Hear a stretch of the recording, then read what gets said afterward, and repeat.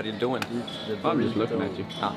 Yeah, we're filming on the new uh, upgraded camera and the new lens, which is like sick as hell. So I'm excited.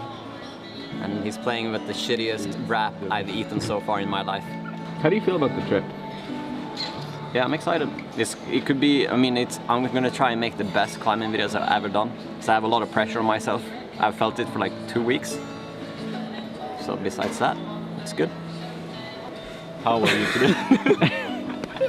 and usually when I go on these kind of trips, it's like, you know, 15 minutes of packing, and then uh, a little bit planning the actual travel, and then it's about 10 hours of watching climbing videos of the area we're going to. Um, so yeah, we've got a lot of boulders in store and it's going to be great. How do you feel?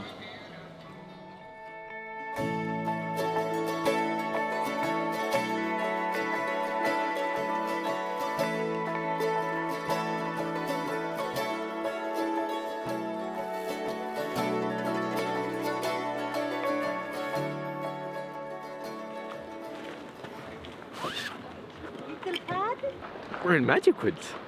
Um, and we just had a big power nap and I think we feel energized. So we're gonna head out and start checking out some boulders. Hello Linda! Hi! We made it to Magic Wood. You made it to Magic Wood. I think we're gonna watch uh, Emil climb Neverending Story. no pressure. Yeah. so the Neverending Story is kind of my one of my long-time projects uh, that I haven't tried yet. I wanted to try it. I wanted to try it for about five years or so. One of the first boulders that like truly, truly, truly caught my eye was the Neverending Story. So V14 is, is kind of unprecedented for me. I've never tried anything of the grade. I've tried 8C, the Big Island, last year, but I kind of just skipped the V14 part. Um, I mean, I only have a day and a half on the boulder, but it's more than most people, so there's gonna be a lot of try hard. I'm uh, gonna give it my best and see if it's, uh, you know, how it goes. I literally, since I started climbing outdoors five years ago, this is like the one area that I've looked at maybe three times, four times a month at least, and just been dreaming about and dreaming about. So I'm pretty stoked. I'm pretty like, yeah, that's, yeah.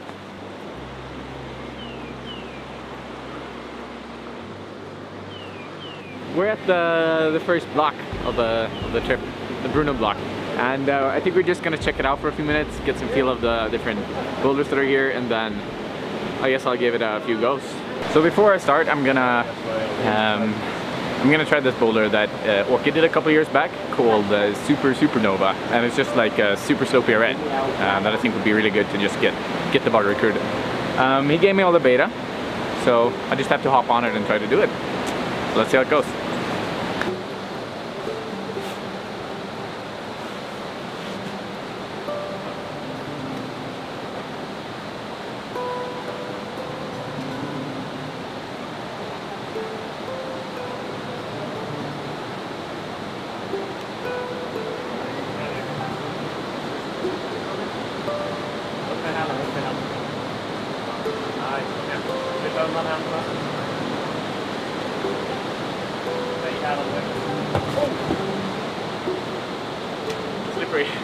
Think it was a pretty good burn. Oki gave me a solid nod afterwards. Um, but I, I don't know, I just like locked right off the right hand sloper near the end. Um, I'll have to try it again and just try to like figure out how to get the good friction, I suppose.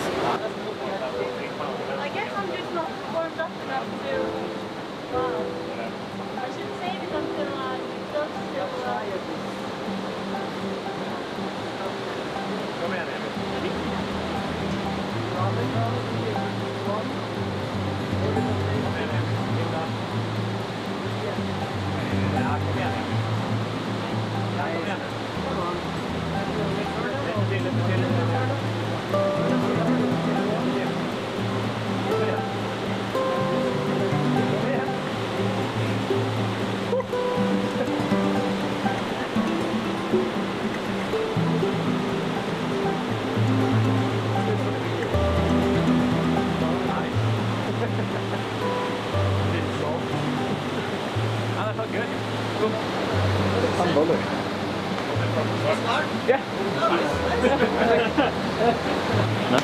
Really cool.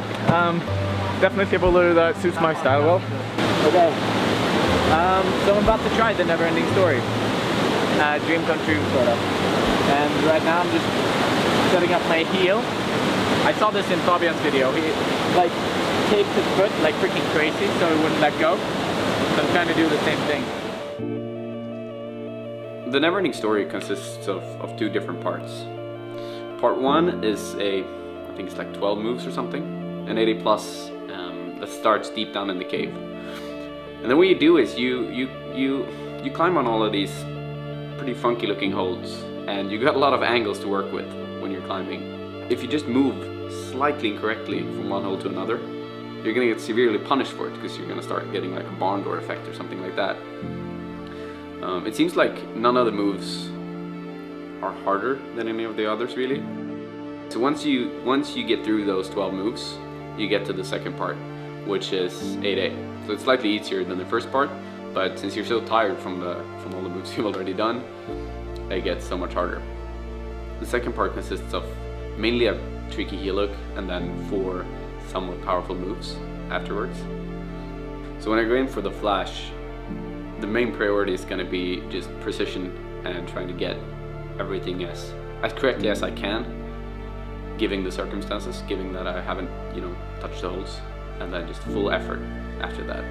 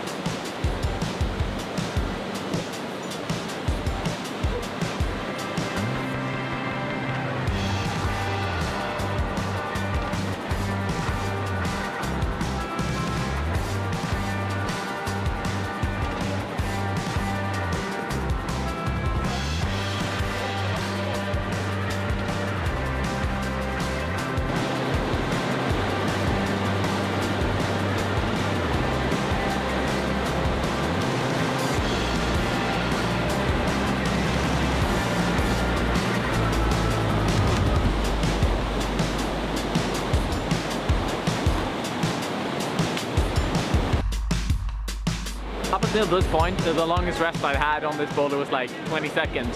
Uh, but now I've had a proper rest of about 10 minutes, I think. So I'm ready to give it a, a red point burn and actually try it from the from the start, like properly try it. Um, my my if I can do the first part, the 8A plus, then I'll be very very satisfied. And if I can get to the crimp, the first crimp for the second part, then I'll be amazingly happy. So yeah, that's my goal for now anyways. And then I'll sort of trip it up a little bit. Cool, let's go.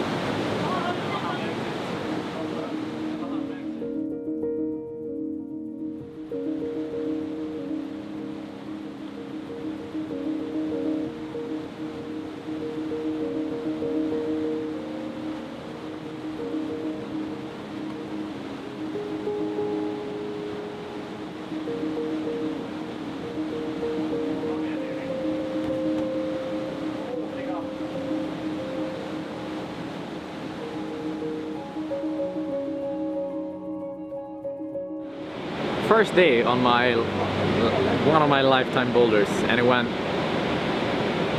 pretty much as good as it probably could.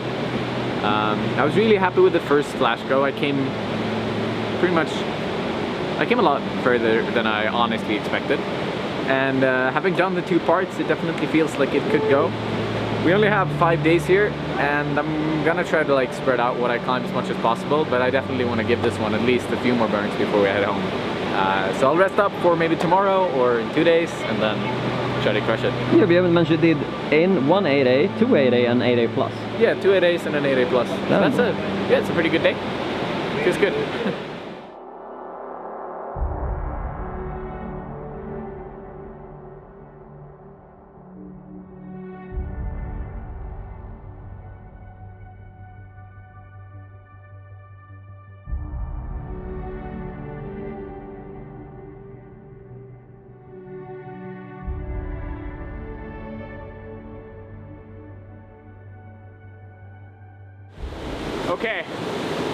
it's a little bit um, uh, loud over here, so we can't do much talking. I'll do that afterwards.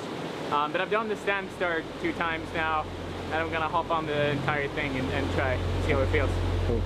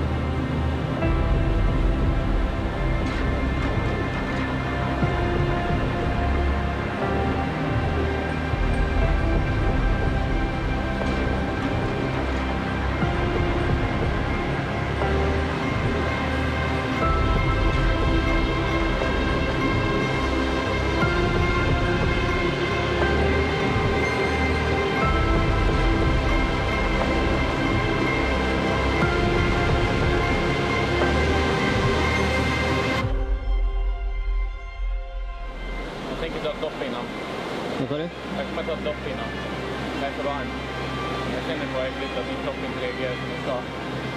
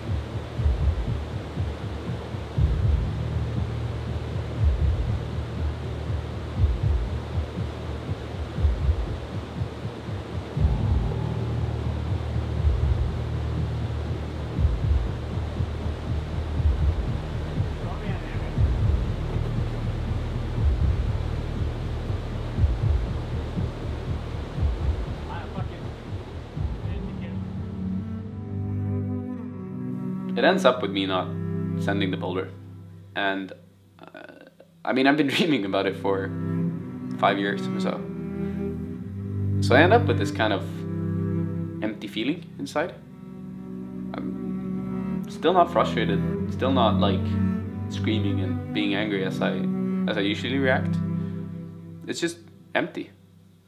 And I just I really don't want to like push that feeling onto everyone else. So uh, what I do is I, I shape up and I, I try try something else. So what I try is to uh, to just camp as the second part, to just have a good time.